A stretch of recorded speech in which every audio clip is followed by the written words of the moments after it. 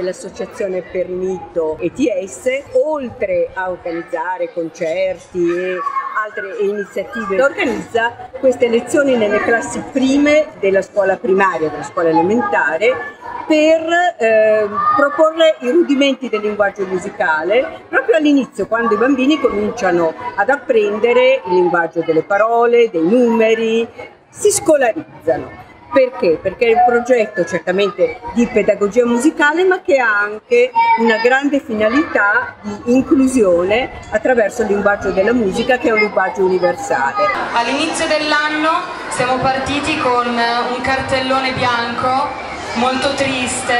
non, non conoscevamo canzoni, piano piano ad ogni lezione abbiamo imparato una canzone, e siamo arrivati alla fine dell'anno ad avere un cartellone tutto colorato con le caratteristiche della musica che i bambini hanno imparato durante le nostre lezioni.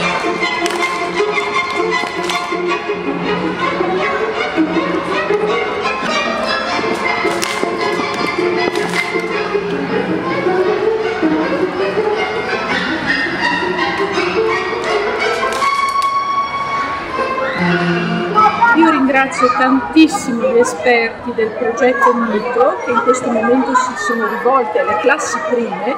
della scuola primaria per offrire delle lezioni a titolo interamente gratuito che sono state veramente di rilievo per i nostri docenti e per i nostri bambini nello specifico. I bambini hanno imparato il ritmo, hanno imparato a cantare, a fare un laboratorio musicale e di canto stando insieme, un laboratorio inclusivo, addirittura cantando, utilizzando anche il linguaggio dei segni perché abbiamo dei bambini purtroppo non udenti quindi veramente più di così non, non avremmo potuto fare e non avremmo potuto dire grazie, grazie, grazie.